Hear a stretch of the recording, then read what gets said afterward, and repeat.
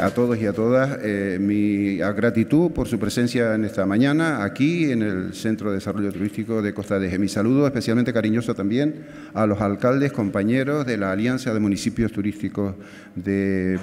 eh, Pioneros de España y a los compañeros alcaldes y concejales y técnicos también que han venido de eh, los municipios de la Asociación de Municipios Turísticos de Canarias que nos hemos reunido para tener un trabajo intenso de redefinición, de reposicionamiento de lo que son los municipios destinos turísticos. Y queríamos participar, hacerles partícipes a todos de esta, eh, esta, experiencia y este trabajo, porque entre nuestros objetivos, los objetivos tanto de la Asociación de Municipios Turísticos de Canarias como de la Alianza, está el establecer complicidad y el establecer colaboración con las organizaciones sociales, con todos los agentes que interactúan en el ecosistema turístico, en el bien entendido de que el futuro del turismo, el liderazgo turístico de Canarias y de España pasa por esa unión de esfuerzo, por esa sintonía común que eh, tiene que llevarnos a que el turismo sea efectivamente un factor generador de riqueza, distribuidor de riqueza, distribuidor de bienestar. Para ello tenemos que establecer alianzas, tenemos que establecer compromisos. Me vais a permitir que mis primeras eh, palabras, como no, sean para mostrar todo el apoyo eh, del Gobierno a los palmeros y las palmeras, también a su sector turístico que vive con incertidumbre el retorno de los turistas a la isla bonita. Por mil razones bonitas, la campaña, sabéis que La Palma eh, puso en, estos días, eh, que nos ha emocionado, y son estas mil razones las que nos animan a trabajar cada día para la reconstrucción y para la reactivación, esperemos muy pronto, de la isla. Todos conocéis, lo ha dicho Miguel, mi compromiso con, vuestras asociaciones. Hemos tenido distintos encuentros. Siempre que voy además a Canarias, eh, tengo eh, por bien reunirme con vosotros porque sois prescriptores del destino, del destino Sol y Playa y también eh, de Canarias como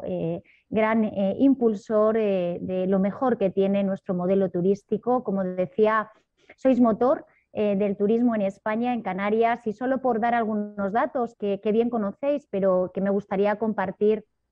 los ocho municipios que formáis parte de la Alianza de Municipios Turísticos concentráis el 20% de las pernotaciones hoteleras del turismo internacional en nuestro país. Sois sin duda municipios en los que el turismo internacional es eh, clave y por ello también habéis eh, tenido un impacto mucho más negativo que otros destinos como consecuencia de la pandemia. El Cabildo de Tenerife, yo creo que como todos los cabildos, eh, ha entendido que la política turística tiene que ser un pilar fundamental. Y debe de serlo no solo en los discursos, que lo, solemos hacer siempre, sino también en la actividad y en la gestión cotidiana que hacemos desde el Cabildo. Nos hemos empeñado en potenciar el sector. Primero consiguiendo que seamos la primera isla destino inteligente. En segundo lugar, apostando por modelos de sostenibilidad porque constantemente se nos reclama eso más desde los distintos operadores, desde, los desde aquellos países que son nuestros principales clientes.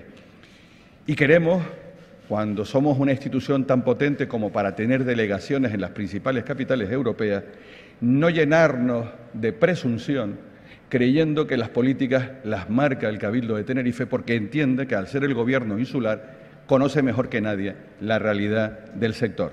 en absoluto. Tenemos que estar atentos a lo que nos dicen nuestros municipios, a lo que nos dicen los sectores empresariales. Solo el acierto dependerá de que tengas esa sintonía para saber conectar lo que se siente día a día en un sector tan cambiante como el turístico y el dinero que siempre es muy corto y que tienes que acertar con la inversión. Bueno, vengo de un pleno, justo terminé de responder a las preguntas de control y automáticamente me he trasladado al sur de, Tenerife. En el camino, pues la ministra portavoz del Gobierno de España anunciaba la aprobación hoy en el Consejo de Ministros del Plan de Sostenibilidad Turística extraordinario, son 600, más de 600 millones de euros. Bueno, saben que se ha trabajado con las distintas comunidades autónomas, con las corporaciones locales, hay unos criterios de acuerdo a esos fondos y unos años para poder desarrollarlo. Eh, eso se suma a los fondos ordinarios que tiene tanto los presupuestos generales del Estado como los presupuestos autonómicos en cada lugar, a los que además eh, hay otros incentivos fundamentales para el sector turístico. Necesitamos, y con prontitud, que todo esto se materialice, que estos fondos que están llegando y que van a llegar en los próximos años, ya sepamos a dónde los vamos a dirigir, que la inversión privada sepa que ya puede realizar esa inversión que tiene en espera para cuanto antes de aquí al 2026 poder transformar los nichos de, empleo y los nichos de, generación económica. Y hoy que estamos hablando con eh, municipios turísticos, está claro que esta crisis, que nadie la quería, ni nadie la quiere, la crisis sanitaria, abre la puerta a adelantar todo lo que Europa quería hacer con todos sus Estados miembros en unos plazos que han tenido que recortar. Y es la transformación sostenible y que reenfoquemos las cosas. Por ejemplo, eh, Canarias tiene posibilidades orográficas, paisajísticas para ser un gran plató de cine mundial.